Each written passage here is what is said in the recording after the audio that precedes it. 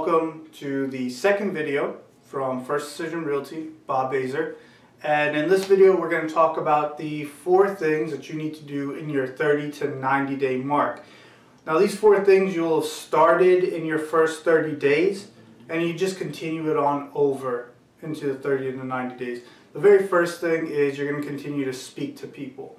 Um, the reason why that's important is whoever you're speaking to, typically they take some time and it's going to be multiple times that you speak to them. The best example would be the pizza guy who actually delivers pizza here to our agents. Our agents order a crap ton of pizza from the Italian place, so that's how I met him. I ended up talking to him, uh, met him over three or four times after the first time he came in. The very first time I just asked him straight up, hey listen, you always deliver pizza here, when are you going to buy a house from me? He laughed it off and was like, oh, not right now. Second time he came in, I said, man, you keep bringing in food, but you're not giving me your business so I can help you get into a house. Again, he laughed it off. He said, oh, I'll let you, he's like, when I'm ready, I'll let you know. Third time he came in, I said, hey, come on, bro. I need that $6,000. When can I help you move in? Let's chat. What's wrong? Straight up, right? Just because the jokes kept going. It was a back and forth thing every time he came in.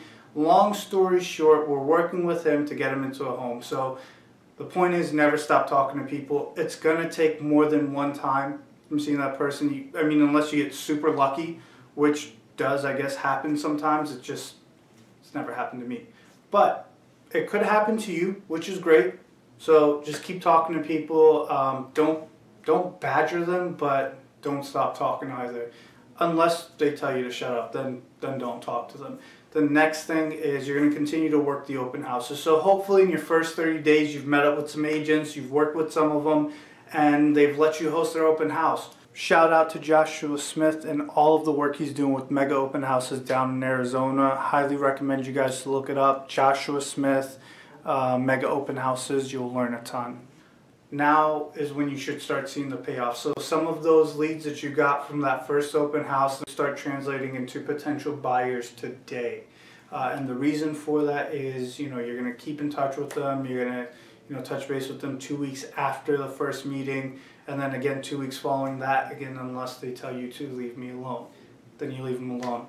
We're also going to continue to assist agents. Uh, very first month in the industry, it's going to be a little bit shaky. You know, some people may or may not trust you. Your skills may or may not be there, but as long as you continue, as long as you keep proving to them uh, by showing up in the office every day, asking questions, coming up with different ideas, approaching them, not being scared, really demonstrating your personality, there should start to be that confidence in there. There is no confidence, just fake it till you make it. Once you've actually built up the confidence with those people, what you're going to want to do is ask to handle some tougher cases for them, ask to work some cases. You might not get the full commission split on those, which is fine, but you're going to get that experience and then you're going to try to work a referral out of that. Uh, and again, you want to have everything in writing and have it agreed to with by a broker. Uh, that's just going to prevent confusion and, and any any issues that could potentially arise.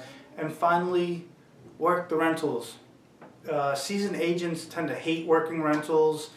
The commission's not as great, but there's volume there. I mean, you're throwing away minimum $400 to $800 every time you say no to a rental so work the rentals. Whatever you can do, get into the rental market because these people are people who may or may not be qualified to buy a home with. If they aren't qualified, guess what? Not only can you help them with the rental, make some money now, and then later on, once they get qualified, you can then be their agent to represent them. So work the rentals. These are your four tips on how to be successful in real estate. Uh, again, watch video number one, and I I'm to try to get the link down here. This is the first time I've done this, so please don't judge. Um, I'm to try to get the link over here. And if it's not over here, or if it's too high or too low, I apologize. It's to be somewhere on the screen. And uh, yeah, try to uh, click the link if you haven't seen the first one. If you have, then this should be just a part two of it.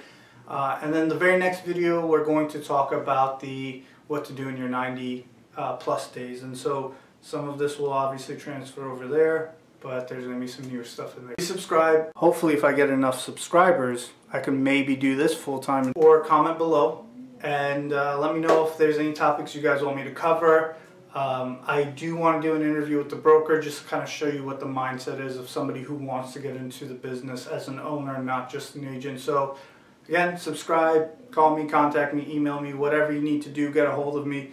Get a hold of me, and hopefully we can uh, work something out. And thanks for watching. Bye bye.